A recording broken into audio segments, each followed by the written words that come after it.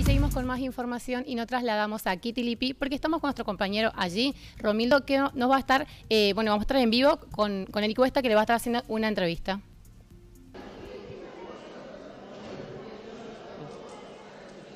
Buenas noches compañeros, hola Marcos, ¿qué tal? Majo, bienvenida también al Noticiero Central. Bueno, nosotros aquí desde Kitilipi, ya pasadas las 20 horas, estamos con la presidenta de la legislatura chaqueña, Elida Cuesta, que ha propuesto nuevamente acercar el poder legislativo al interior de la provincia del Chaco, primero en Charata, en esta segunda oportunidad, y luego aquí en Kitilipi. Bueno, buenas noches, bienvenida.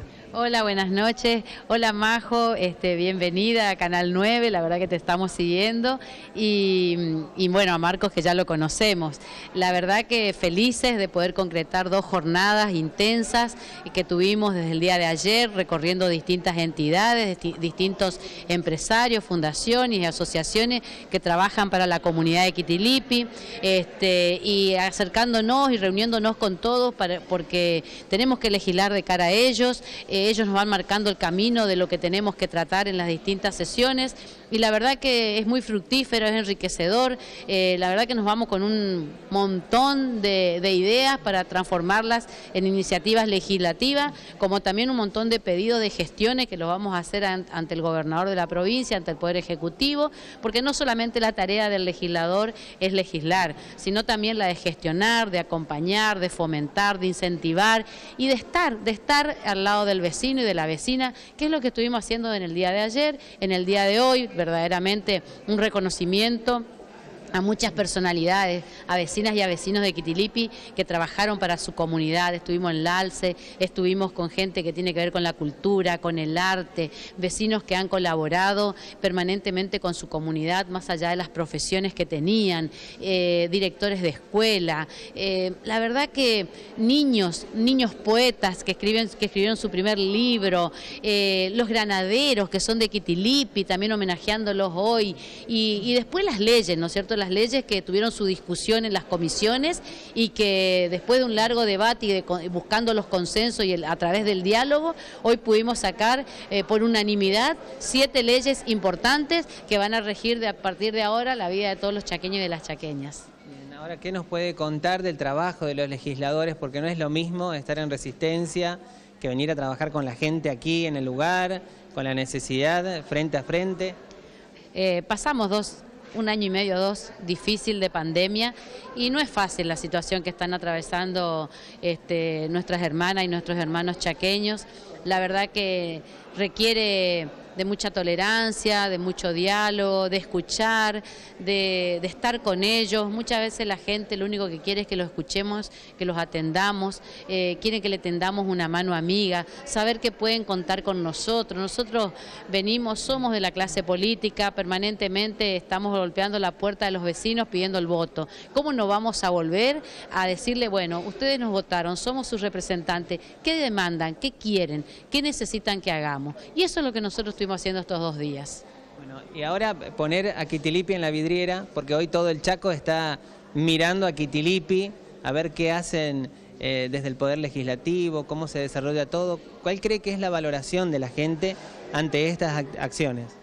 Bueno, muy buena, muy buena. La verdad que eh, ustedes que nos acompañaron en toda la jornada vieron la participación que hubo de la comunidad y, la verdad que, no, que nos agradecen que estemos acá. Es lo que quieren de los funcionarios, lo que quieren de sus representantes, que los visiten, que los acompañen, eh, interiorizarnos de, la problemática de cada localidad. No es lo mismo legislar desde una oficina en resistencia, donde no todos tienen la oportunidad de ir, de viajar y de contactarse con nosotros, que venir nosotros al territorio, de recorrer y de ir a la casa de ellos a preguntarle y a decirle que estamos a disposición para trabajar juntos, porque la verdad que entre todos tenemos que sacar nuestra provincia adelante, tenemos que salir de esta pandemia de la mejor manera, fortalecidos en la fe, pero también en el trabajo y en la comunión de todos los chaqueños y las chaqueñas, para que entre todos hagamos un, chaco inclusivo, un chaco, un chaco en crecimiento, que vuelva a ser ese chaco productivo. Eh, visitamos una desmontadora,